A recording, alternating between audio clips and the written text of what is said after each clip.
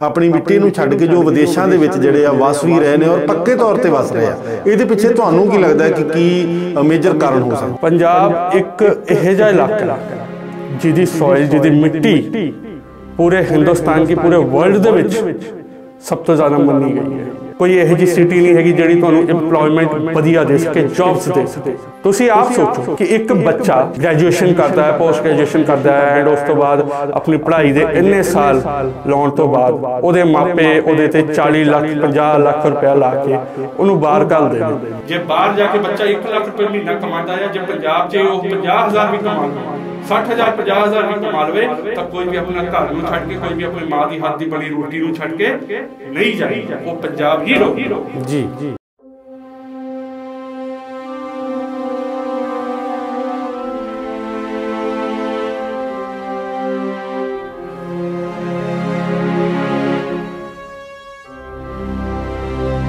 Harjas TV ਦੇਖ ਰਹੇ ਸਾਰੇ ਦਰਸ਼ਕਾਂ ਦਾ ਮੈਂ ਹਰਵਿੰਦਰ ਸਿੰਘ, ਪ੍ਰੋਗਰਾਮ ਵਿਚਾਰ ਚਰਚਾ ਦੇ ਵਿੱਚ ਤੁਹਾਡਾ ਸਵਾਗਤ ਕਰਦਾ ਜੀ। ਸਾਡਾ ਅੱਜ ਦਾ ਸਬਜੈਕਟ ਹੈਗਾ ਆ ਕਿ ਜਿਹੜੇ ਨੌਜਵਾਨ, ਜਿਹੜੇ ਬੱਚੇ ਜਾਂ ਬੱਚੀਆਂ ਜਿਹੜੀਆਂ ਹੈਗੀਆਂ ਨੇ, ਉਹ ਪੰਜਾਬ ਨੂੰ ਛੱਡ ਕੇ ਵਿਦੇਸ਼ਾਂ ਦੇ ਵਿੱਚ ਪ੍ਰਵਾਸ ਕਰਦੇ ਨੇ। ਕੁਝ ਬੱਚੇ ਪੜਨ ਵਾਸਤੇ ਜਾਂਦੇ ਨੇ ਔਰ ਕੁਝ ਬੱਚੇ ਉੱਥੇ ਕੰਮ ਕਰਨ ਵਾਸਤੇ ਜਾਂਦੇ ਨੇ ਔਰ ਇਹ ਗਿਣਤੀ ਛੋਟੀ ਜੀ ਨਹੀਂ ਹੈਗੀ, ਇਹ ਗਿਣਤੀ ਬਹੁਤ ਜ਼ਿਆਦਾ ਹੈ। ਔਰ ਇਸ ਮੁੱਦੇ ਦੇ ਉੱਤੇ ਆਪਾਂ ਅੱਜ ਗੱਲਬਾਤ ਕਰ ਰਹੇ ਹਾਂ ਜੋ ਸਾਡੇ ਨਾਲ ਮੌਜੂਦ ਨੇ, ਇੱਕ ਮੋਟੀਵੇਸ਼ਨਲ ਸਪੀਕਰ ਵੀ ਨੇ ਔਰ ਇੱਕ ਸਕਸੈਸਫੁਲ ਬਿਜ਼ਨਸਮੈਨ ਵੀ ਹੈਗੇ ਆ, ਸਰਦਾਰ ਜਸਕੀਰਤ ਸਿੰਘ ਜੀ ਆਲੂ ਵਾਲੀਆ ਜਸਕੀਰਤ ਸਿੰਘ ਜੀ, ਸਭ ਤੋਂ ਪਹਿਲਾਂ ਤਾਂ ਤੁਸੀਂ ਸਾਨੂੰ ਇਹ ਦੱਸੋ ਕਿ ਜਿਹੜੇ ਸਾਡੇ ਨੌਜਵਾਨ ਨੇ ਬੱਚੇ ਬੱਚੀਆਂ ਨੇ ਉਹ ਉਹਨਾਂ ਦਾ ਜਿਹੜਾ ਮੇਨ ਕਾਰਨ ਕੀ ਹੈਗਾ, ਜਿਹੜਾ ਉਹ ਪ੍ਰਵਾਸ ਕਰ ਰਹੇ ਨੇ, ਪੰਜਾਬ ਨੂੰ ਛੱਡ ਕੇ, ਆਪਣੀ ਮਿੱਟੀ ਨੂੰ ਛੱਡ ਕੇ ਜੋ ਵਿਦੇਸ਼ਾਂ ਦੇ ਵਿੱਚ ਜਿਹੜੇ ਆ ਵਸ ਵੀ ਰਹੇ ਨੇ ਔਰ ਪੱਕੇ ਤੌਰ ਤੇ ਵਸ ਰਹੇ ਆ। ਇਹਦੇ ਪਿੱਛੇ ਤੁਹਾਨੂੰ ਕੀ ਲੱਗਦਾ ਹੈ ਕਿ ਕੀ ਮੇਜਰ ਕਾਰਨ ਹੋ ਸਕਦਾ? ਹੈ ਪਹਿਲਾਂ ਤਾਂ ਮੈਂ ਬਹੁਤ ਬਹੁਤ ਧੰਨਵਾਦੀ ਹਾਂ ਹਰਜਸ ਟੀਵੀ ਦਾ। ਮੈਂ ਆਪਣੀ ਪੁਰਾਣੀ ਵੀਡੀਓ ਨੂੰ ਦੇਖ ਰਿਹਾ ਸੀ ਐਂਡ ਉਹਦੇ 'ਚ ਤੁਹਾਡੇ ਬਹੁਤ ਪਿਆਰੇ ਪਿਆਰੇ ਕਮੈਂਟ ਐਂਡ ਪਿਆਰ ਮਿਲਿਆ ਬਹੁਤ ਬਹੁਤ ਧੰਨਵਾਦ ਉਹਦੇ ਲਈ। ਐਂਡ ਅੱਜ ਆਪਾਂ ਜਿਹੜੇ ਟੌਪਿਕ ਤੇ ਗੱਲ ਕਰ ਰਹੇ ਹੈਗੇ, ਇਹ ਟੌਪਿਕ ਬਹੁਤ ਹੀ ਜ਼ਿਆਦਾ ਸੈਂਸਿਟਿਵ ਹੈ। ਔਰ ਇਹ ਟੌਪਿਕ ਹੈਗਾ ਮੇਨ ਕਿ ਪੰਜਾਬ ਦਾ ਯੂਥ ਜਿਹੜਾ ਹੈਗਾ, ਬੱਚੇ ਜਿਹੜੇ ਨੇ, ਉਹ ਬਾਹਰ ਕਿਉਂ ਜਾ ਰਹੇ ਨੇ? ਕਿਉਂ ਅਬਰੋਡ ਦੇ ਵਿੱਚ ਸੈਟਲ ਹੋਣਾ ਪਸੰਦ ਕਰਦੇ ਨੇ? ਰੈਦਰ ਦੈਨ ਪੰਜਾਬ 'ਚ ਰਹਿਣਾ। ਪੰਜਾਬ ਪੰਜਾਬ ਇੱਕ ਇਹੋ ਜਿਹਾ ਇਲਾਕਾ ਹੈ। ਜਿਹਦੀ ਸੋਇਲ ਜਿਹਦੀ ਮਿੱਟੀ ਪੂਰੇ ਹਿੰਦੁਸਤਾਨ ਕੀ ਪੂਰੇ ਵਰਲਡ ਦੇ ਵਿੱਚ ਸਭ ਤੋਂ ਜ਼ਿਆਦਾ ਮੰਨੀ ਗਈ ਹੈ। ਮਿੱਟੀ ਦਾ ਜਿਹੜਾ ਫਰਟੀਲਿਟੀ ਰੇਟ ਹੈ, ਸਭ ਤੋਂ ਹਾਈ ਹੈ ਇੱਥੇ। ਐਗਰੀਕਲਚਰ ਲਈ ਜਿਹੜਾ ਵੈਦਰ ਚਾਹੀਦਾ ਹੈ, ਪੰਜਾਬ ਵਿੱਚ ਸਭ ਤੋਂ ਸੂਟੇਬਲ ਹੈ। ਪੰਜ ਆਬ means 5 rivers the land which has 5 rivers ਪੰਜ ਦਰਿਆਵਾਂ ਦਾ ਪਾਣੀ ਜਿੱਥੇ ਹੈਗਾ, ਉਹਨੂੰ ਆਪਾਂ ਪੰਜਾਬ ਕਹਿੰਦੇ ਹਾਂ। ਜੀ। ਅੱਜ ਜਿਹੜੀ ਆ ਸਿਚੁਏਸ਼ਨ ਹੈਗੀ ਆ ਇਹਨੂੰ ਆਪਾਂ ਕਹਿੰਦੇ ਬ੍ਰੇਨ ਡਰੇਨ ਜੇ ਆਪਾਂ ਇੱਕ ਨਾਮ ਦੇਣਾ ਹੋਏ ਟਾਈਟਲ ਦਾ। ਜੀ। ਬ੍ਰੇਨ ਡਰੇਨ ਇੱਕ ਇਹੋ ਜੀ ਚੀਜ਼ ਆ ਜਿਹੜੀ ਪੰਜਾਬੀਆਂ ਲਈ ਪੰਜਾਬ ਲਈ ਸਭ ਤੋਂ ਜ਼ਿਆਦਾ ਸੂਟ ਕਰਦੀ ਸਭ ਤੋਂ ਜ਼ਿਆਦਾ ਸੂਟੇਬਲ ਵਰਡ ਹੈ। ਇਹਦਾ ਮਤਲਬ ਇਹ ਆ ਕਿ ਜਦੋਂ ਇੱਕ ਬੱਚਾ ਪੜ੍ਹਦਾ ਆ ਸਾਰੀ ਐਜੂਕੇਸ਼ਨ ਕੰਪਲੀਟ ਕਰਦਾ ਆ ਬਟ ਫਿਰ ਵੀ ਉਹ ਬਾਹਰ ਚਲ ਜਾਂਦਾ ਹੈ ਆਪਣੇ ਸ਼ਹਿਰ ਨੂੰ ਆਪਣੇ ਘਰਦਿਆਂ ਨੂੰ ਛੱਡ ਕੇ। ਉਹਦਾ ਰੀਜ਼ਨ ਕੀ ਹੈ ਜੇ ਆਪਾਂ ਨੂੰ ਇਹਦਾ ਮੇਨ ਰੀਜ਼ਨ ਜਾਣਨਾ ਹੈਗਾ ਤੇ ਆਪਾਂ ਨੂੰ ਥੋੜੇ ਜਿਹੇ ਸਾਲਾਂ ਪਿੱਛੇ ਜਾਣਾ ਪੈਣਾ। ਗੱਲ ਹੈਗੀ 70 ਦੇ ਦਸ਼ਕ ਦੀ। ਜਦੋਂ 1970 ਦੇ ਟਾਈਮ ਦੇ ਵਿੱਚ ਪੰਜਾਬ ਇਹ ਜੀ ਸਟੇਟ ਸੀਗੀ ਜਿਹੜੀ ਨੰਬਰ 1 ਤੇ ਆਂਦੀ ਸੀ ਡਿਵੈਲਪਮੈਂਟ ਦੇ ਵਿੱਚ ਜੀਡੀਪੀ ਦੇ ਵਿੱਚ ਐਚਡੀਆਈ ਦੇ ਵਿੱਚ ਹਰ ਚੀਜ਼ ਦੇ ਵਿੱਚ। ਜੀ। ਸਾਡਾ ਪੰਜਾਬ ਬਹੁਤ ਅੱਗੇ ਸੀਗਾ। ਜੇ ਆਪਾਂ ਸੋਨੇ ਦੀ ਚਿੜੀਆ ਕਹੀਏ ਤੇ ਪੰਜਾਬ ਉਹਦਾ ਹੀ ਇੱਕ ਮੇਜਰ ਹਿੱਸਾ ਸੀਗਾ ਹਿੰਦੁਸਤਾਨ। ਜੀ। ਇਸ ਹਿੰਦੁਸਤਾਨ ਦੇ ਵਿੱਚ। ਪੰਜਾਬ ਦੇ ਵਿੱਚ ਜਦੋਂ ਐਗਰੀਕਲਚਰ ਨੂੰ ਬੜ੍ਹੋਤੀ ਦਿੱਤੀ ਗਈ ਹਰੀ ਕ੍ਰਾਂਤੀ ਜਦੋਂ ਆਈ। ਹਰੀ ਕ੍ਰਾਂਤੀ ਜਦੋਂ ਆਈ ਜਦੋਂ ਗ੍ਰੀਨ ਰੈਵੋਲੂਸ਼ਨ ਆਇਆ। ਜੀ। ਜਦੋਂ ਹਿੰਦੁਸਤਾਨ ਦੇ ਵਿੱਚ ਭੁੱਖਮਰੀ ਸੀਗੀ ਲੋਕਾਂ ਕੋਲ ਅਨਾਜ ਨਹੀਂ ਸੀ ਖਾਣ ਨੂੰ ਤਾਂ ਗ੍ਰੀਨ ਰੈਵੋਲੂਸ਼ਨ ਇੱਥੇ ਲਿਆਇਆ ਗਿਆ। ਜਦੋਂ ਸਰਕਾਰ ਵੱਲੋਂ ਐਮਐਸਪੀ ਜਾਰੀ ਕੀਤੀ ਗਈ ਫਾਰਮਰਸ ਨੂੰ ਕਈ ਸਾਰੇ ਉਹਨਾਂ ਨੇ ਓਪਰਚੁਨਿਟੀਆਂ ਦਿੱਤੀਆਂ ਐਂਡ ਉਹਨਾਂ ਨੂੰ ਰਿਲਾਇਬਲ ਕੀਤਾ ਇੱਕ ਕਣਕ ਤੇ ਇੱਕ ਚੌਲ ਦੇ ਖੇਤੀ ਦੇ ਵਿੱਚ ਉਪਜਾਊ ਦੇ ਵਿੱਚ। ਜੀ। ਅੱਜ ਹਿੰਦੁਸਤਾਨ ਦਾ ਜਿਹੜਾ ਸਭ ਤੋਂ ਵਧੀਆ ਕੁਆਲਿਟੀ ਦਾ ਚੌਲ ਆਂਦਾ ਬਾਸਮਤੀ ਰਾਈਸ ਜਿਹੜਾ ਸਭ ਤੋਂ ਲੰਬਾ ਹੈਗਾ ਉਹ ਪੰਜਾਬ ਤੋਂ ਆਉਂਦਾ ਹੈ। ਪੰਜਾਬ ਇਸ ਫੂਡ ਬਾਸਕਟ ਔਰ ਬ੍ਰੈਡ ਬਾਸਕਟ ਆਫ ਇੰਡੀਆ ਜਿਹਨੂੰ ਆਪਾਂ ਕਹਿੰਦੇ ਆ। ਜੀ। ਇਹ ਜੀ ਸਟੇਟ ਜਿੱਥੇ ਕਿਸੇ ਟਾਈਮ ਤੇ ਅਸੀਂ ਸਭ ਤੋਂ ਜ਼ਿਆਦਾ ਅਮੀਰ ਸੀਗੇ। ਅਨਇੰਪਲੋਇਮੈਂਟ ਰੇਟ ਸਭ ਤੋਂ ਘੱਟ ਸੀਗਾ। We were the most prosperous state in India ਜੀ। ਅੱਜ ਕਈ ਇਹ ਜੀ ਲੋੜ ਪੈ ਗਈ ਕਿ ਸਾਨੂੰ ਸਾਡੇ ਬੱਚਿਆਂ ਨੂੰ ਬਾਹਰ ਭੇਜਣਾ ਪੈ ਰਿਹਾ ਐਂਡ ਅਸੀਂ ਪੰਜਾਬ ਦੇ ਵਿੱਚ ਅੱਗੇ ਕੁਝ ਦੇਖ ਨਹੀਂ ਪਾ ਰਹੇ ਡਿਵੈਲਪਮੈਂਟ ਨਹੀਂ ਦੇਖ ਪਾ ਰਹੇ। ਪੰਜਾਬ ਇੱਕ ਇਹ ਜਿਹਾ ਸਟੇਟ ਹੈ ਜਿਹੜਾ ਬਾਰਡਰਸ ਨਾਲ ਕਨੈਕਟਡ ਆ ਇੰਟਰਨੈਸ਼ਨਲੀ ਪੰਜਾਬ ਦੇ ਵਿੱਚ ਜਿਹੜੀ ਡਿਵੈਲਪਮੈਂਟ ਹੋਣੀ ਚਾਹੀਦੀ ਸੀ ਸੈਂਟਰ ਦੇ ਗਵਰਨਮੈਂਟ ਦੇ ਥਰੂ ਜਾਂ ਸਟੇਟ ਗਵਰਨਮੈਂਟ ਦੇ ਥਰੂ ਉਸ ਲਿਹਾਜ਼ ਦੇ ਨਾਲ ਕੋਈ ਖਾਸ ਡਿਵੈਲਪਮੈਂਟ ਨਹੀਂ ਹੈਗੀ। ਹੂੰ। ਔਰ ਇਹੀ ਕਾਰਨ ਆ ਬੱਚਿਆਂ ਦਾ ਕਿ ਬੱਚੇ ਅੱਜ ਬਾਹਰ ਜਾ ਰਹੇ ਨੇ।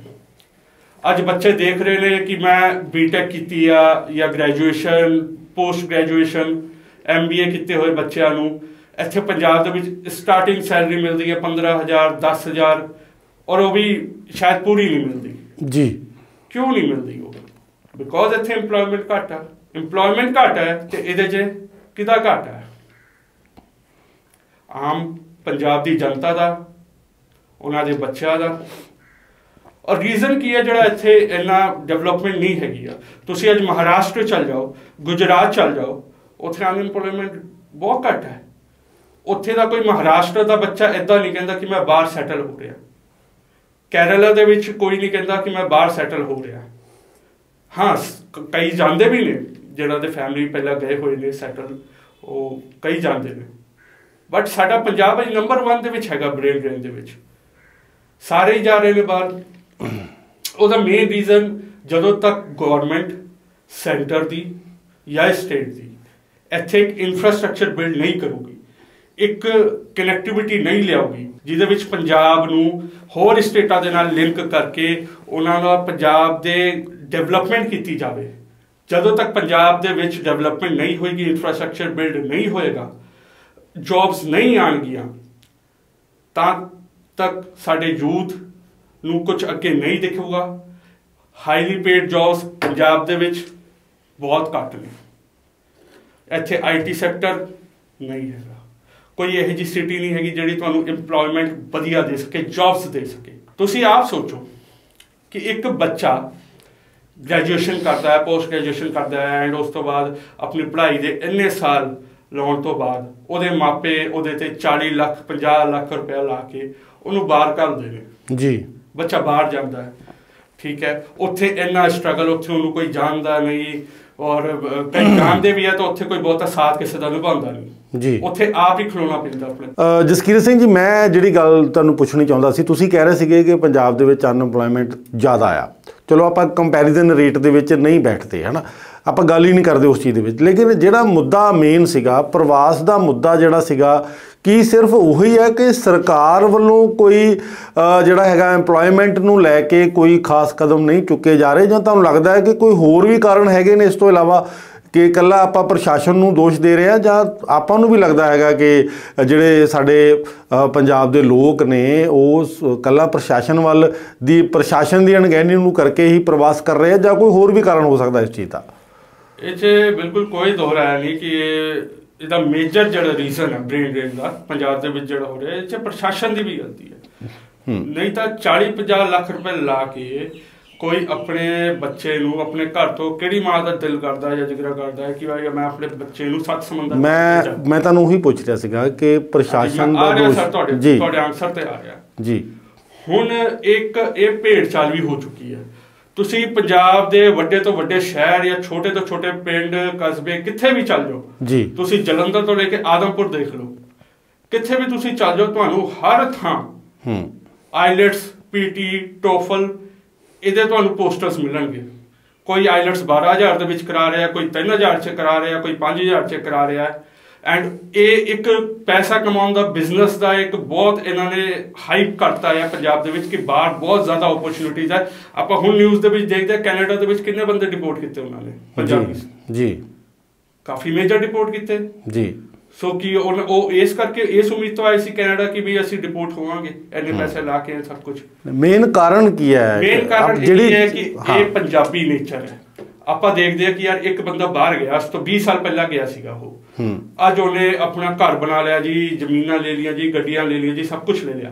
ਬਟ ਉਸ ਬੰਦੇ ਦੀ 20 ਸਾਲ ਦੀ ਮਿਹਨਤ ਕੋਈ ਨਹੀਂ ਦੇਖਦਾ ਜੀ 20 ਸਾਲ ਪਹਿਲਾਂ ਵਕਤ ਕੁਝ ਹੋਰ ਸੀਗਾ ਅਨਇੰਪਲੋਇਮੈਂਟ ਕੁਝ ਹੋਰ ਸੀ ਜਾਂ 20 ਸਾਲ ਤਾਂ ਬਹੁਤ ਵੱਡੀ ਗੱਲ ਹੋ ਗਈ 5 ਸਾਲ ਹੀ ਲਾ ਕੇ ਲਾਓ 5 ਸਾਲ ਪਹਿਲਾਂ ਕੈਨੇਡਾ ਦੇ ਵਿੱਚ ਕੋਈ ਅਨਇੰਪਲੋਇਮੈਂਟ ਇਸ਼ੂ ਨਹੀਂ ਸੀਗਾ।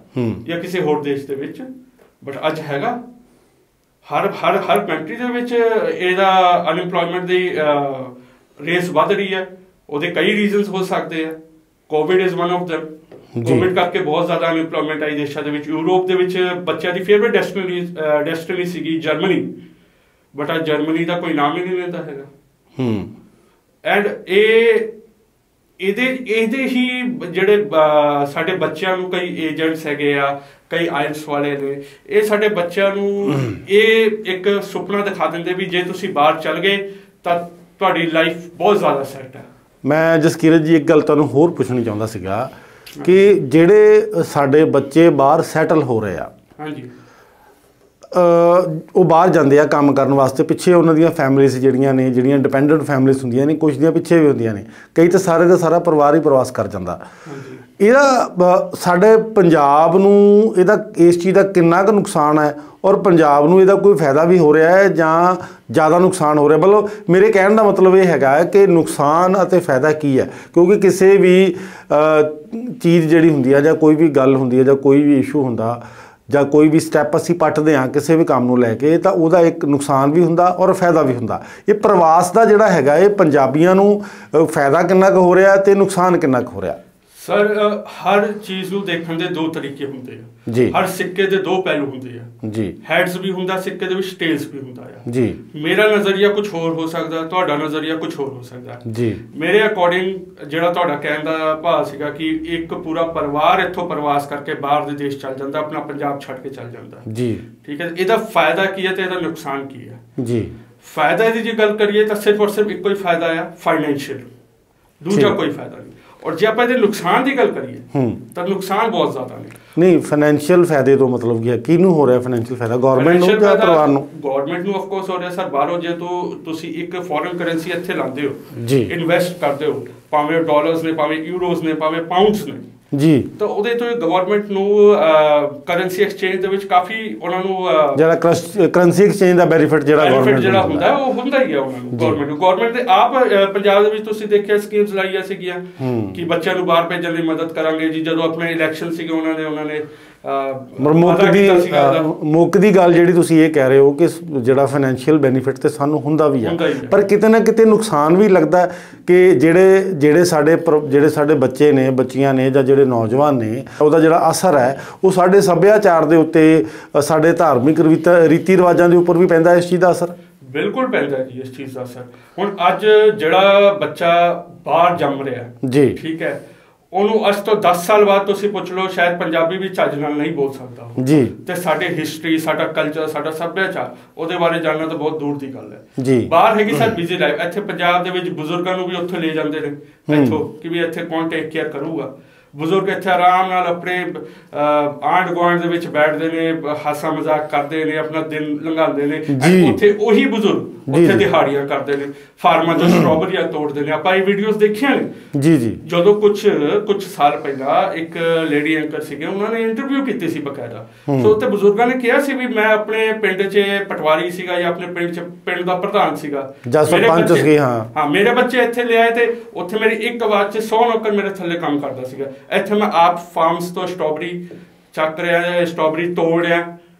ਸੋ ਇਹ ਇਹ ਚੀਜ਼ਾਂ ਕਰਕੇ ਇਹ ਹੋਰ ਕੋਈ ਚੀਜ਼ ਨਹੀਂ ਹੈਗੀ, ਇਸ ਚੀਜ਼ ਤੇ ਆਪਾਂ ਅੱਜ ਦੀ ਡੇਟ ਦੇ ਵਿੱਚ ਆਪਣੇ ਫਾਈਨੈਂਸ਼ੀਅਲ ਸਟੇਟਸ ਨੂੰ, ਆਪਣੇ ਸੈਲਫ ਰਿਸਪੈਕਟ ਤੋਂ ਉੱਪਰ ਲੈ ਕੇ ਜਾ ਚੁੱਕੇ ਇਹ ਗੱਲ ਤੁਸੀਂ ਬਿਲਕੁਲ ਠੀਕ ਕੀਤੀ ਹੈ ਜਸਕੀਰਤ ਸਿੰਘ ਜੀ। ਲੇਕਿਨ ਜਿਹੜਾ ਮੈਂ ਇੱਕ ਚੀਜ਼ ਹੋਰ ਪੁੱਛਣੀ ਚਾਹੁੰਦਾ ਸੀਗਾ ਕਿ ਸਰਕਾਰ ਨੂੰ ਇਹਨੂੰ ਫਾਈਨੈਂਸ਼ੀਅਲ ਬੈਨੀਫਿਟ ਹੁੰਦਾ ਆ, ਆਪਾਂ ਮੰਨ ਚਾਹੁੰਦੇ ਇਸ ਚੀਜ਼ ਨੂੰ ਲੈ ਕੇ। ਜਾਂ ਜਿਹੜੇ ਬਜ਼ੁਰਗ ਸਾਡੇ ਇੱਥੇ ਵਧੀਆ ਲਾਈਫ ਸਟਾਈਲ ਜੀਂਦੇ ਸੀਗੇ ਜਾਂ ਟੌਰ ਨਾਲ ਰਹਿੰਦੇ ਸੀ, ਕੋਈ ਸਰਪੰਚ ਸੀ, ਕੋਈ ਲੰਬੜਦਾਰ ਸੀ, ਕੋਈ ਪਟਵਾਰੀ ਸੀ, ਉਹ ਬਾਹਰ ਚਲੇ ਗਏ, ਜਾ ਕੇ ਦਿਹਾੜੀਆਂ ਕਰਦੇ ਨੇ। ਇਹ ਚੀਜ਼ ਮੈਂ ਤੁਹਾਡੀ ਗੱਲ ਨਾਲ ਇਸ ਗੱਲ ਦੇ ਨਾਲ ਮੈਂ 100% ਸਹਿਮਤ ਵੀ ਹਾਂ, ਉਹ ਇਹ ਚੀਜ਼ ਹੁੰਦੀ ਹੈ। ਲੇਕਿਨ ਮੇਜਰ ਕਾਰਨ ਕੀ ਹੈਗਾ ਪ੍ਰਵਾਸ ਦਾ?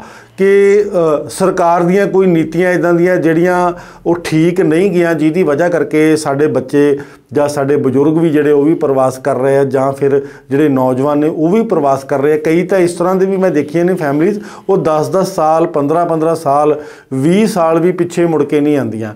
ਚਾਹੇ ਉਹ ਇੱਕ ਨੰਬਰ 'ਚ ਜਾਣ ਵਾਲਾ ਬੰਦਾ ਹੁੰਦਾ, ਚਾਹੇ ਦੋ ਨੰਬਰ ਵਿੱਚ ਜਾਣ ਵਾਲਾ ਬੰਦਾ ਹੁੰਦਾ। ਲੇਕਿਨ ਮੇਜਰ ਕਾਰਨ ਤੁਹਾਨੂੰ ਕੀ ਲੱਗਦਾ ਹੈਗਾ ਕਿ ਮੇਜਰ ਕਾਰਨ ਕੀ ਹੋ ਸਕਦਾ ਹੈ? ਕਿ ਸਰਕਾਰ ਦਾ ਫੇਲਿਅਰ ਹੈ ਜਾਂ ਸਾਡਾ ਪੰਜਾਬ ਦੇ ਲੋਕਾਂ ਦਾ ਆਪਣਾ ਫੇਲਿਅਰ ਹੈਗਾ, ਜਿਹਦੀ ਵਜ੍ਹਾ ਕਰਕੇ ਪ੍ਰਵਾਸ ਹੋ ਰਿਹਾ। ਸਰ, ਜਿਹੜਾ ਇਹਦਾ ਮੇਜਰ ਕਾਰਨ ਹੈਗਾ ਆ, ਕਿ ਅੱਜ ਪੰਜਾਬ ਦੇ ਪਰਿਵਾਰ ਦੇ ਪਰਿਵਾਰ ਇੱਥੋਂ ਪ੍ਰਵਾਸ ਕਰਕੇ ਬਾਹਰ ਚੱਲ ਜਾਂਦੇ ਨੇ। ਉਹਦਾ ਕਾਰਨ ਹੈਗਾ, ਇੱਥੇ ਮਿਹਨਤ ਦਾ ਉਹ ਮੁੱਲ ਨਹੀਂ ਮਿਲਦਾ ਜਿਹੜਾ ਬਾਹਰਲੇ ਦੇਸ਼ਾਂ 'ਚ ਮਿਲਦਾ। ਮਿਹਨਤ ਦਾ ਮੁੱਲ ਮੇਰੇ ਹਿਸਾਬ ਨਾਲ ਸਰਕਾਰਾਂ ਤੈਅ ਕਰਦੀਆਂ ਨੇ ਸਾਡਾ ਹਨਾ? ਬਿਲਕੁਲ, ਤੇ ਸਰਕਾਰ ਦਾ ਮੈਨੂੰ ਲੱਗਦਾ ਹੈ ਕਿ ਇਸ ਚੀਜ਼ ਦੇ ਵਿੱਚ ਬਹੁਤ ਵੱਡਾ ਦੋਸ਼ ਹੈ ਕਿ ਜਿਹਦੀ ਵਜ੍ਹਾ ਕਰਕੇ ਸਾਡੇ ਨੌਜਵਾਨ ਜਿਹੜੇ ਬੱਚੇ ਨੇ ਉਹ ਬਾਹਰ ਜਾਂਦੇ ਨੇ। ਦੇਖੋ ਹਰੇਕ ਬੱਚੇ ਦੇ ਨੌਜਵਾਨ ਨੂੰ ਸਰਕਾਰੀ ਨੌਕਰੀ ਦੇਣੀ ਤੇ ਪੋਸੀਬਲ ਨਹੀਂ ਹੈਗੀ। ਦੂਜੀ ਗੱਲ ਇਹ ਹੈਗੀ ਆ ਕਿ ਜਿੱਥੋਂ ਤੱਕ ਮੈਨੂੰ ਲੱਗਦਾ ਹੈ ਕਿ ਅਸੀਂ ਬੱਚਿਆਂ ਨੂੰ ਬਿਜ਼ਨਸ ਵੱਲ ਮੋਟੀਵੇਟ ਹੀ ਨਹੀਂ ਕਰ ਪਾਉਂਦੇ। ਕਿ ਤੁਸੀਂ ਕੋਈ ਆਪਣਾ ਸੈਲਫ ਬਿਜ਼ਨਸ ਤੁਸੀਂ ਕਰੋ। ਖੇ, ਜ਼ਿਆਦਾਤਰ ਜਿਹੜੇ ਬੱਚੇ ਬਾਹਰ ਜਾ ਰਹੇ ਨੇ, ਉਹ ਜ਼ਿਮੀਦਾਰ ਭਰਾਵਾਂ ਦੇ, ਕਿਸਾਨ ਭਰਾਵਾਂ ਦੇ ਨੇ, ਕਿਉਂਕਿ ਜਿਹਨੇ 25 30 ਲੱਖ ਰੁਪਇਆ ਲਾਉਣਾ ਜਾਂ 40 ਲੱਖ ਰੁਪਇਆ ਲਾਉਣਾ, ਉਹ ਇੱਕ ਆਮ ਇਨਸਾਨ ਦੇ ਵੱਸ ਦੀ ਗੱਲ ਨਹੀਂ ਹੈ ਇਹ ਇੱਕ ਗੰਭੀਰ ਮੁੱਦਾ ਹੈਗਾ ਆ ਪੰਜਾਬ ਦਾ ਔਰ ਸਰਕਾਰ ਨੂੰ ਇਸ ਚੀਜ਼ ਬਾਰੇ ਸੋਚਣਾ ਚਾਹੀਦਾ ਹੈਗਾ। ਮੈਂ ਇੱਕ ਜਸ- ਜਸਕੀਰਤ ਜੀ, ਮੈਂ ਇੱਕ ਹੋਰ ਗੱਲ ਤੁਹਾਨੂੰ ਪੁੱਛਣੀ ਚਾਹੁੰਦਾ ਸੀਗਾ ਕਿ ਆਪਾਂ ਅਕਸਰ ਪਿੰਡਾਂ ਦੇ ਵਿੱਚ ਜਿਹੜਾ ਦੇਖਿਆ ਆ ਕਿ ਜਿਹੜੇ ਬੱਚੇ ਬਾਹਰ ਚਲੇ ਜਾਂਦੇ ਨੇ, ਪਰਿਵਾਰ ਵੀ ਬਾਹਰ ਚਲੇ ਜਾਂਦੇ ਨੇ, ਪਿੱਛੇ ਉਹਨਾਂ ਦੀਆਂ ਕੋਠੀਆਂ, ਉਹਨਾਂ ਦੇ ਘਰ ਜਿਹੜੇ ਹੈਗੇ ਆ, ਉਹ ਖਾਲੀ ਪਏ ਰਹਿੰਦੇ ਆ। ਤੇ ਇਹਦੇ ਪਿੱਛੇ ਕੀ ਹੈਗਾ ਆ ਕਿ ਜਦੋਂ ਸਾਡੇ ਬੱਚੇ ਬਾਹਰ ਜਾਂਦੇ ਆ, ਲੇਕਿਨ ਜਿਹੜੇ ਪ੍ਰਵਾਸੀ ਭਾਰਤੀ ਆ, ਫਿਰ ਉਹਨਾਂ ਕੋਠੀਆਂ ਦੇ ਵਿੱਚ ਕੇਅਰ ਟੇਕ ਕਰਦੇ ਆ। ਤੁਹਾਨੂੰ ਲੱਗਦਾ ਹੈ ਕਿ ਜਿਹੜਾ ਇਹ ਮਿਕਸ ਹੋ ਰਿਹਾ ਸਾਰਾ ਸਿਸਟਮ ਜਿਹੜਾ ਆ ਕਲਚਰ ਦਾ ਜਿਹੜਾ ਮਿਕਸਚਰ ਪੈਦਾ ਹੋ ਰਿਹਾ ਆ ਜਿਹੜੇ ਜਿਹੜਾ ਸਾਡਾ ਸੱਭਿਆਚਾਰ ਜਿਹੜਾ ਹੈਗਾ ਆ ਉਹਨੂੰ ਨੁਕਸਾਨ ਹੋ ਰਿਹਾ ਜਾਂ ਸਾਨੂੰ ਕੋਈ ਕਿਸ- ਤਰ੍ਹਾਂ ਦੀ ਕੋਈ ਫਾਈਨੈਂਸ਼ੀਅਲ ਜਿਹੜੀ ਹੈਗੀ ਆ ਉਹ ਸੱਟ ਵੱਜ ਰਹੀ ਹੈ ਇਸ ਚੀਜ਼ ਦੇ ਉੱਤੇ? ਬਿਲਕੁਲ ਫਾਈਨੈਂਸ਼ੀਅਲ ਸੱਟ ਵੱਜ ਰਹੀ ਹੈ ਸਰ ਉਸ ਚੀਜ਼ ਤੇ। ਜੀ। ਦੇਖੋ ਅੱਜ ਇੱਕ ਪੰਜਾਬੀ ਜਿੱਦਾਂ ਤੁਸੀਂ ਕਿਹਾ ਕਿ ਜਮੀਦਾਰ ਭਰਾਵਾਂ ਦੇ ਬੱਚੇ ਜਿਹੜੇ ਆ ਫਾਰਮਰਸ ਦੇ ਬੱਚੇ ਜਿਹੜੇ ਆ ਉਹ ਬਾਹਰ ਜਾ ਰਹੇ ਨੇ ਉਹ ਜਾ। ਰਹੇ ਨੇ ਬਾਹਰ। ਉਹਦਾ ਰੀਜ਼ਨ ਹੈ। ਉਹ 40 ਲੱਖ ਰੁਪਏ ਆਪਣੀ ਪੂਰੀ ਜ਼ਮੀਨ ਜਿਹੜੀ ਉਹਨਾਂ ਦੇ ਬਜ਼ੁਰਗਾਂ ਨੇ ਬਣਾਈ ਉਹਦਾ ਫਿਰ ਟੇਕ ਕੇ ਮਿਹਨਤ ਨਾਲ ਬਣਾਈ ਹੁੰਦੀ ਹੈ। ਬਣਾਈ। ਉਹਨੂੰ ਗਿਰਵੀ ਰੱਖ ਕੇ ਜਾਂ ਵੇਚ ਕੇ ਉਹਨੂੰ ਬਾਹਰ ਜਾਂਦੇ ਨੇ ਜਿਹੜੇ ਬੱਚੇ ਨੇ ਜਿਨ੍ਹਾਂ ਦੀ ਇੰਗਲਿਸ਼ ਵਧੀਆ ਨਹੀਂ ਜਿਹੜੇ ਵਿਚਾਰੇ ਆਇਲਸ ਨਹੀਂ ਕਰ ਸਕਦੇ ਉਹ ਦੋ ਨੰਬਰ ਦੇ ਵਿੱਚ ਜਾਂਦੇ ਨੇ। ਦੋ ਨੰਬਰ ਦੇ ਵਿੱਚ ਤੁਸੀਂ ਅਕਸਰ ਇਹ ਸੁਣਿਆ ਹੈਗਾ ਕਿ ਮੈਕਸੀਕੋ ਦੇ ਰਾਹੀਂ ਜਾਂਦੇ ਨੇ ਬਾਰਡਰ ਟੱਪਣਾ ਪੈਂਦਾ ਉਹਨਾਂ ਨੂੰ ਪਨਾਮਾ ਦੇ ਜੰਗਲਸ ਦੇ ਵਿੱਚ ਜਾਂਦੇ ਨੇ। ਇੱਕ ਪਾਣੀ ਦੀ ਬੋਟਲ ਜਿਹੜੇ ਉੱਥੇ ਲੋਕਲਸ ਹੁੰਦੇ ਨੇ ਜਿਹੜਾ ਉਹਨਾਂ ਨੂੰ ਟਰੈਵਲ ਕਰਾਉਂਦੇ ਨੇ। 20 ਡਾਲਰਾਂ ਦੀ ਇੱਕ ਇੱਕ ਬੋਟਲ ਪਾਣੀ ਦੀ ਦਿੰਦੇ ਨੇ ਉਹ। ਜੀ। ਇੰਨੀ ਦਿੱਕਤਾਂ ਤੋਂ ਬਾਅਦ ਇੰਨੇ ਮੁਸ਼ਕਲਾਂ ਤੋਂ ਬਾਅਦ ਪੱਤੇ ਖਾ ਖਾ ਕੇ ਪੰਜਾਬੀ ਉੱਥੇ ਆਪਣਾ ਗੁਜ਼ਾਰਾ ਕਰਦੇ ਨੇ ਉਹ ਜੰਗਲਾਂ ਦੇ ਵਿੱਚ। ਜੀ। ਜਿਹੜੇ ਦੁਨੀਆ ਦੇ ਸਭ ਤੋਂ ਜ਼ਿਆਦਾ ਡੈਂਸਡ ਜਿਹੜੇ ਜੰਗਲ ਨੇ ਉਹ। ਜੀ। ਉਹਨਾਂ ਚੋਂ ਲੰਘ ਕੇ ਕਿਸੇ ਤਰ੍ਹਾਂ ਜਾ ਜੂ ਕੇ ਉੱਥੇ ਵੀ ਉਹਨਾਂ ਨੂੰ ਜੇਲ੍ਹ 'ਚ ਰਹਿਣਾ ਪੈਂਦਾ ਕੁਝ ਟਾਈਮ ਐਂਡ ਫਿਰ ਉਹਨਾਂ ਨੇ ਇੱਕ ਬੈਂਡ ਵੀ ਪੈਂਦਾ ਆ ਸਿਕਿਉਰਿਟੀ ਦੇ ਪਰਪਸ ਕਰਕੇ ਕੰਟਰੀ ਦੇ ਵਿੱਚ ਜਦੋਂ ਉਹ ਐਂਟਰ ਕਰ ਜਾਂਦੇ ਨੇ। ਇੰਨਾ ਕੁਝ ਦੇਖਣ ਦੀ ਕੀ ਲੋੜ ਹੈਗੀ ਆ? ਜੀ। ਜੇ ਤੁਸੀਂ 30 40 ਲੱਖ ਰੁਪਏ ਕਿਥੇ ਲਾ ਰਹੇ ਹੋ ਕਿਸੇ ਦੂਜੇ ਦੇਸ਼ ਤੇ ਜਾਣ ਲਈ ਤੁਸੀਂ 30 40 ਲੱਖ ਰੁਪਏ ਆਪਣੇ ਪੰਜਾਬ ਤੇ ਲਾਓ। ਜੀ। ਅੱਜ ਤੁਸੀਂ ਦੇਖੋ ਤੁਸੀਂ EMPLOYMENT ਕ੍ਰੀਏਟ ਕਰੋ। ਅੱਜ ਬਾਹਰ ਵਾਲੇ ਕਾਮਯਾਬ ਨੇ ਤਾਂ ਉਹ ਪੂਰੀ ਤਰ੍ਹਾਂ ਨਾਲ ਗਵਰਨਮੈਂਟ ਤੇ ਡਿਪੈਂਡੈਂਟ ਨਹੀਂ ਹੈਗੇ। ਜੀ। ਉਹਨਾਂ ਨੇ ਆਪ ਵੀ ਸਟਰਗਲ ਕੀਤਾ। ਤੁਸੀਂ ਦੇਖੋ ਜਿਹੜੇ ਦੁਨੀਆ ਦੇ ਸਭ ਤੋਂ ਵੱਡੇ ਸਟਾਰਟਅਪਸ ਨੇ ਜੀ। ਮਾਈਕਰੋਸਾਫਟ ਕਹਿ ਲਓ ਐਪਲ ਕਹਿ ਲਓ ਇਹ ਸਾਰੀ ਕੀ ਗਵਰਨਮੈਂਟ ਕੰਪਨੀਆਂ ਨੇ ਕੀਆ? ਨਹੀਂ। ਇਹ ਸਾਰੀ ਪਰਸਨਲ ਕੰਪਨੀ ਸੀਗੀਆਂ ਜਿਹੜੀ ਇੱਕ ਪ੍ਰੋਪਰ ਸੀਈਓ ਜਾਂ ਕਿਸੇ ਨੇ ਫਾਊਂਡ ਕੀਤੀ ਹੈ ਟੈਸਲਾ ਕਹਿ ਲਓ। ਜੀ। ਤਾਂ ਸਾਨੂੰ ਵੀ ਪੰਜਾਬ ਦੇ ਵਿੱਚ ਇਦਾਂ ਦਾ ਕੁਝ ਇੱਕ ਸਕੀਮ ਕਰਨਾ ਪੈਣਾ ਹੈ ਇਦਾਂ ਦਾ ਕੋਈ ਕਦਮ ਲੈਣਾ ਪੈਣਾ ਹੈ ਕਿ ਇੱਥੇ ਵੀ ਬਿਜ਼ਨਸ ਹੋਏ ਤੇ ਇੱਥੇ ਵੀ ਓਪਰਚੁਨਿਟੀਜ਼ ਹੋਣ। ਜੀ। ਅੱਜ ਪੰਜਾਬ ਦਾ ਜਿਹੜਾ ਪੜ੍ਹਿਆ ਲਿਖਿਆ ਬੱਚਾ ਹੈਗਾ ਉਹ ਕੜੀ ਚੌਲ ਦੀ ਰੇੜੀ ਲਾਉਂਦਾ ਜੀ। ਹੈ ਰਾਜਮਾ ਚੌਲ ਦੀ ਰੇੜੀਆਂ ਲਾਉਂਦਾ ਹੈਗਾ। ਆਪਾਂ ਦੇਖਦੇ ਆ ਮੋਹਾਲੀ ਚੰਡੀਗੜ੍ਹ ਜਦੋਂ ਜਾਈਏ ਆਪਾਂ ਸਾਰਿਆਂ ਨੂੰ ਇੰਜੀਨੀਅਰ ਚਾਹ ਵਾਲਾ ਇੰਜੀਨੀਅਰ ਕੜੀ ਚੌਲ ਵਾਲਾ। ਮਤਲਬ ਇੰਜੀਨੀਅਰ ਤੱਕ ਦੀ ਡਿਗਰੀਜ਼ ਕੀਤੀਆਂ ਹੋਈਆਂ ਉਹਨਾਂ ਨੇ ਤੇ ਉਹਨਾਂ ਨੂੰ ਇਹ ਨੌਬਤ ਹੈ ਤੇ ਇਹਦੇ ਚ ਕਿਹਦਾ ਫੇਲਿਅਰ ਹੈ ਉਸ ਬੱਚੇ ਦਾ ਤਾਂ ਕੋਈ ਫੇਲਿਅਰ ਨਹੀਂ ਉਹਨੇ ਤਾਂ ਆਪਣੇ ਪੈਸੇ ਲਾਏ ਆਪਣੀ ਪੜ੍ਹਾਈ ਪੂਰੀ ਕੀਤੀ। ਜਿਹੜੀ। ਜੌਬ ਉਹਨੂੰ ਐਕਸਪੈਕਟਡ ਸੀ ਕਿ ਵੀ ਮੈਂ 30 35000 ਕਮਾਉਂਗਾ ਉਹ 10 15000 ਤੇ ਕਰ ਰਿਹਾ ਉਸ ਤੋਂ ਵਧੀਆ ਉਹ ਸੋਚਦਾ ਕਿ ਯਾਰ ਮੈਂ ਆਪਣਾ ਇਹੀ ਕਰ ਲਵਾਂ। ਜੀ। ਤੇ ਜਿਹੜਾ ਜਿਹੜਾ ਬੱਚਾ ਬਾਹਰ ਨਹੀਂ ਜਾ ਸਕਦਾ ਉਹ ਵਿਚਾਰਾ ਆਹੀ ਕੰਮ ਕਰਦਾ। ਜੀ। ਤੇ ਉਹਦੇ 'ਚ ਕਿਹਦਾ ਫੇਲਿਅਰ ਹੈ? ਉਹਦੇ 'ਚ ਬਿਲਕੁਲ ਸਾਡੇ ਸਰਕਾਰ ਦਾ ਵੀ ਫੇਲਿਅਰ ਹੈ ਤੇ ਸਾਡਾ ਆਪਣਾ ਵੀ ਫੇਲਿਅਰ ਹੈ। ਜੀ। ਜੇ ਅਸੀਂ ਇੱਥੇ EMPLOYMENT ਕ੍ਰੀਏਟ ਕਰੀਏ ਜੇ ਅਸੀਂ ਅਸੀਂ ਇੱਥੇ ਬਿਜ਼ਨਸ ਸੈਟਅਪ ਕਰੀਏ ਜੇ 30 40 ਲੱਖ ਰੁਪਏ ਇੱਕ ਬੱਚਾ ਹੈਗਾ ਪੰਜਾਬ 'ਚ ਹਜ਼ਾਰਾਂ ਦੀ ਗਿਣਤੀ 'ਚ ਬੱਚੇ ਜਾਂਦੇ ਨੇ। ਜੇ ਹਜ਼ਾਰਾਂ ਵਿੱਚੋਂ ਕਈ 100 ਵੀ ਇੱਥੇ ਪੈਸਾ ਲਾ ਕੇ ਆਪਣੀ EMPLOYMENT ਬਣਾਉਣ ਪੰਜਾਬੀਆਂ ਨੂੰ ਕੰਮ ਦੇਣ ਇੱਕ ਸਹੀ ਪੇ ਦੇਣ ਜੇ ਬਾਹਰ ਜਾ ਕੇ ਬੱਚਾ 1 ਲੱਖ ਰੁਪਏ ਮਹੀਨਾ ਕਮਾਉਂਦਾ ਹੈ ਜੇ ਪੰਜਾਬ 'ਚ ਉਹ 50000 ਵੀ ਕਮਾ ਲਵੇ 60000 50000 ਵੀ ਕਮਾ ਲਵੇ ਤਾਂ ਕੋਈ ਵੀ ਆਪਣਾ ਘਰ ਨੂੰ ਛੱਡ ਕੇ, ਕੋਈ ਵੀ ਆਪਣੇ ਮਾਂ ਦੀ ਹੱਥ ਦੀ ਬਣੀ ਰੋਟੀ ਨੂੰ ਛੱਡ ਕੇ ਨਹੀਂ ਜਾਏਗਾ। ਉਹ ਪੰਜਾਬ ਹੀ ਰਹੂਗਾ। ਜੀ। ਬਿਲਕੁਲ ਸਹੀ ਗੱਲ ਹੈ ਜਸਕੀਰਤ ਜੀ ਕਿ ਸਾਡਾ ਜਿਹੜਾ ਪੰਜਾਬ ਦੇ ਪ੍ਰਵਾਸ ਦਾ ਮੁੱਦਾ ਹੈਗਾ, ਜਿੱਥੇ ਸਾਡੇ ਨੌਜਵਾਨ ਬੱਚੇ ਬੱਚੀਆਂ ਬਾਹਰ ਜਾ ਰਹੇ ਨੇ ਔਰ ਇਹ ਵਾਕਈ ਗੰਭੀਰ ਮੁੱਦਾ ਹੈ, ਸਾਨੂੰ ਇਹਦੇ ਕੁਝ ਫਾਇਦੇ ਵੀ ਹੋ ਰਹੇ ਆ ਔਰ ਨੁਕਸਾਨ ਵੀ ਹੋ ਰਹੇ ਆ। ਔਰ ਮੈਨੂੰ ਲੱਗਦਾ ਕਿ ਨੁਕਸਾਨ ਜ਼ਿਆਦਾ ਹੋ ਰਿਹਾ ਔਰ ਫਾਇਦਾ ਘੱਟ ਹੋ ਰਿਹਾ। ਅਸੀਂ ਆਪਣੇ ਸੱਭਿਆਚਾਰ ਨਾਲੋਂ ਟੁੱਟਦੇ ਜਾ ਰਹੇ ਹਾਂ, ਅਸੀਂ ਆਪਣੀ ਧਰਤੀ ਨਾਲੋਂ ਟੁੱਟਦੇ ਜਾ ਰਹੇ ਹਾਂ, ਅਸੀਂ ਆਪਣੇ ਧਰਮ ਨਾਲੋਂ ਟੁੱਟਦੇ ਜਾ ਰਹੇ ਹਾਂ। ਔਰ ਜਿਹਦੇ ਵਿੱਚ ਜਿਹੜਾ ਬਾਹਰ ਦਾ ਸੱਭਿਆਚਾਰ ਹੈਗਾ, ਉਹ ਉਹਦੇ ਵਿੱਚ ਦਖਲ ਦੇ ਰਿਹਾ ਹੈਗਾ ਔਰ ਉਹਦੇ ਵਿੱਚ ਘੁਸਦਾ ਜਾ ਰਿਹਾ। ਜਿਹਦਾ ਮੈਨੂੰ ਲੱਗਦਾ ਕਿ ਸ਼ਾਇਦ ਆਉਣ ਵਾਲੀ ਜਿਹੜੀ ਸਾਡੀ ਨਸਲ ਹੋਏਗੀ ਉਹਦਾ ਇਹਨੂੰ ਚੰਗਾ ਖਮਿਆਜਾ ਜਿਹੜਾ ਹੈਗਾ, ਉਹ ਭੁਗਤਣਾ ਪਏਗਾ। ਔਰ ਇਹ ਇੱਕ ਵਾਕਈ ਗੰਭੀਰ ਮੁੱਦਾ ਹੈਗਾ ਔਰ ਅਸੀਂ ਚਾਹੁੰਦੇ ਹਾਂ ਕਿ ਇਹ ਇਕੱਲੇ ਪ੍ਰਸ਼ਾਸਨ ਦੀ ਜ਼ਿੰਮੇਵਾਰੀ ਨਹੀਂ ਹੈਗੀ ਹੈ। ਕਿ ਇਕੱਲੇ ਪ੍ਰਸ਼ਾਸਨ ਦੇ ਅਸੀਂ ਮੂੰਹ ਵੱਲ ਦੇਖਣਾ ਜਾਂ ਉਹਦੇ ਹੱਥਾਂ ਵੱਲ ਦੇਖਣਾ ਹੈ ਕਿ ਉਹ ਸਾਡੇ ਲਈ ਕੁਝ ਕਰੇਗਾ ਸਾਡੀ ਆਪਣੀ ਪਰਸਨਲ ਸਾਡੀ ਆਪਣੀ ਨਿੱਜੀ ਜ਼ਿੰਮੇਵਾਰੀ ਵੀ ਬਣਦੀ ਹੈਗੀ ਆ ਕਿ ਅਸੀਂ ਪ੍ਰਵਾਸ ਵੱਲ ਘੱਟ ਧਿਆਨ ਦੇ ਕੇ ਆਪਣੇ ਜਿਹੜੇ ਬੱਚੇ ਨੇ ਜਾਂ ਜਿਹੜੀਆਂ ਬੱਚੀਆਂ ਨੇ, ਉਹਨਾਂ ਨੂੰ ਇੱਥੇ ਹੀ ਇੱਕ ਵਧੀਆ ਦਰਜੇ ਦੀ ਪੜ੍ਹਾਈ ਕਰਵਾ ਕੇ ਉਹਨਾਂ ਦਾ ਜਿਹੜਾ ਇੱਥੇ ਹੀ ਇੱਕ ਕੰਮਕਾਰ ਦਾ ਜਿਹੜਾ ਸੈਟਅਪ ਜਿਹੜਾ ਹੈਗਾ ਉਹ ਕੀਤਾ ਜਾਵੇ। ਔਰ ਜੇ ਲੋਕ ਇਸ ਪੱਧਰ ਤੱਕ ਸੋਚਦੇ ਨੇ, ਤਾਂ ਸਰਕਾਰਾਂ ਦੀ ਜ਼ਿੰਮੇਵਾਰੀ ਬਣਦੀ ਹੈਗੀ ਹੈ ਕਿ ਉਹ ਲੋਕਾਂ ਦਾ, ਲੋਕਾਂ ਦੀ ਜਿਹੜੀ ਇਸ ਸੋਚ ਹੈਗੀ ਹੈ ਉਸ ਸੋਚ ਨੂੰ ਜਿਹੜਾ ਸਹੀ ਸਾਬਤ ਕਰਨ ਵਾਸਤੇ ਉਹਦੇ ਲਈ ਇੱਕ ਉਚਿਤ ਕਦਮ ਚੁੱਕੇ, ਇੱਕ ਵਧੀਆ ਨੀਤੀਆਂ ਘੜਨ ਤਾਂ ਕਿ ਸਾਡਾ ਪ੍ਰਵਾਸ ਰੋਕਿਆ ਜਾ ਸਕੇ, ਲੋਕਾਂ ਨੂੰ, ਬੱਚਿਆਂ ਨੂੰ ਰੋਕਿਆ ਜਾ ਸਕੇ। ਅਸੀਂ ਆਪਣੇ ਪੰਜਾਬ ਅਤੇ ਪੰਜਾਬੀਅਤ ਜਿਹੜੀ ਹੈਗੀ ਆ ਉਹਦੀ ਰਾਖੀ ਕਰ ਸਕੀਏ ਤੇ ਉਹਨੂੰ ਬਚਾ ਸਕੀਏ। ਔਰ ਇਹ ਬੜੇ ਵਡਮੁੱਲੇ ਵਿਚਾਰ ਜਿਹੜੇ ਸੀਗੇ ਜਸਕੀਰਤ ਸਿੰਘ ਆਲੂਵਾਲੀਆ ਜੀ ਨੇ ਸਾਡੇ ਨਾਲ ਸਾਂਝੇ ਕੀਤੇ ਹੈਗੇ ਆ। ਔਰ ਅਦਾਰਾ ਹਰਜਸ ਟੀਵੀ ਜਿਹੜਾ ਉਹਨਾਂ ਦਾ ਬਹੁਤ ਬਹੁਤ ਧੰਨਵਾਦ ਕਰਦਾ ਕਿ ਉਹਨਾਂ ਨੇ ਆਪਣੇ ਕੀਮਤੀ ਸਮੇਂ ਦੇ ਵਿੱਚੋਂ ਸਮਾਂ ਕੱਢ ਕੇ ਸਾਡੇ ਦਰਸ਼ਕਾਂ ਦੇ ਨਾਲ ਆਪਣੀਆਂ ਕੀਮਤੀ ਗੱਲਾਂ ਜਿਹੜੀਆਂ ਸੀਗੀਆਂ ਉਹ ਸਾਂਝੀਆਂ ਕੀਤੀਆਂ। ਅਸੀਂ ਦੁਬਾਰਾ ਫਿਰ ਜਸਕੀਰਤ ਸਿੰਘ ਆਲੂਵਾਲੀਆ ਜੀ ਦਾ ਧੰਨਵਾਦ ਕਰਦੇ ਹੈਗੇ ਆ ਔਰ ਦੁਬਾਰਾ ਇੱਕ ਨਵੇਂ ਵਿਸ਼ੇ ਦੇ ਨਾਲ, ਇੱਕ ਨਵੇਂ ਸਬਜੈਕਟ ਦੇ ਨਾਲ ਅਸੀਂ ਦੁਬਾਰਾ ਫਿਰ ਤੁਹਾਡੇ ਨਾਲ ਰੂਬਰੂ ਹੋਵਾਂਗੇ ਅਤੇ ਤੁਸੀਂ ਸਾਡੇ ਨਾਲ ਹੀ ਬਣੇ ਰਹਿਣਾ ਅਤੇ ਦੇਖਦੇ ਰਹਿਣਾ ਹਰ ਜਸ ਟੀਵੀ, ਹਰ ਜਸ, ਹਰ ਥਾਂ।